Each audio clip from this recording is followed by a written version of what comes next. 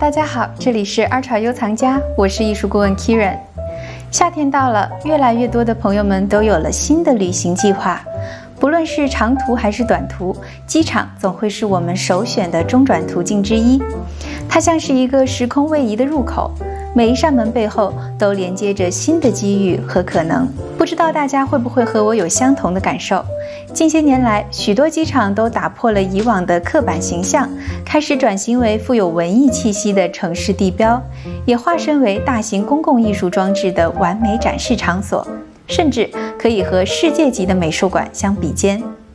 在今天的视频中，我将和大家分享四座拥有绝美艺术装置的北美机场。下次转机时还能顺便看个展，拍出几张惊艳朋友圈的旅途大片。机场对于很多旅客来说，可能并不是一个适合放松的地方。无尽的安检、时差的困扰、突如其来的延误，都会紧绷我们的神经。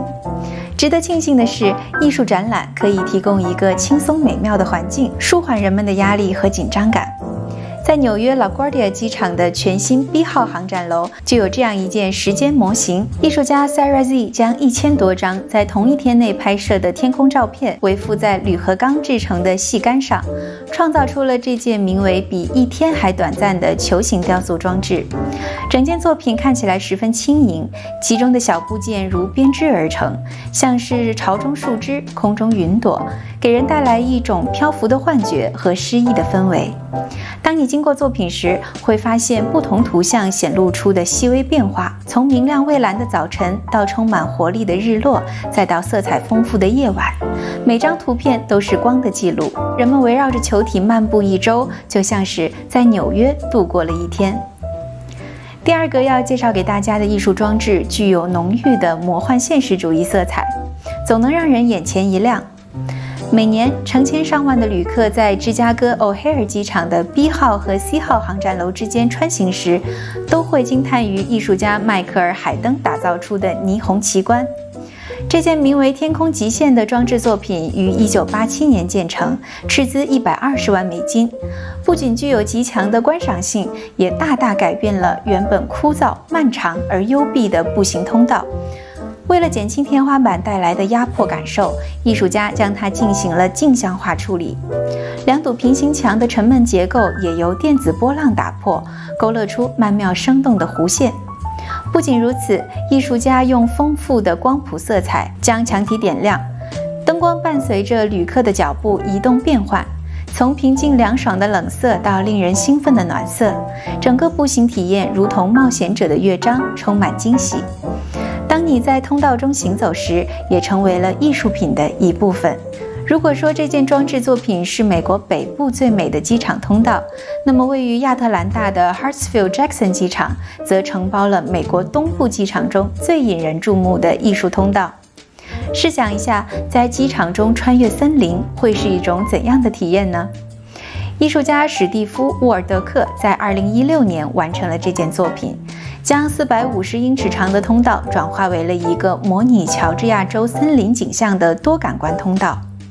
通过它时，你会听到十余种当地鸟类和昆虫的背景音频，邂逅如沙丘鹤和蓝鹭等动物的动听啼叫。匆忙旅途中放松一下，接受大自然洗礼和问候的同时，也能感受到扑面而来的当地文旅特色。旅途的最后，寻找行李认领处总是一件麻烦事，但到访过加州 Sacramento 国际机场的旅客总是好评不断，因为会有一只巨大的红色飞兔为你引路。丹佛艺术家劳伦斯·阿金斯是这只五十六英尺长、一万磅重、价值八十万美金巨兔的设计者。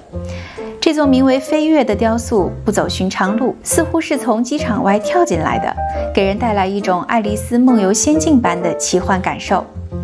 艺术家之所以选择兔子的形象，是因为许多文化中的故事都与这种动物有关。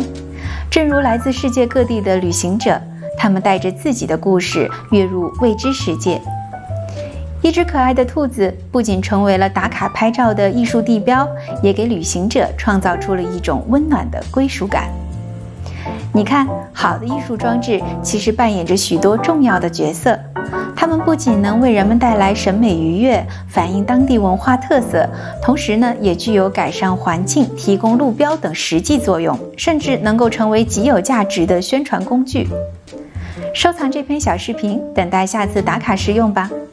虽然艺术品特别美，但可别看着看着就忘了登机时间。好了，今天就先说到这儿。如果你已经看到了这里，就来个转评赞吧。我们下期见。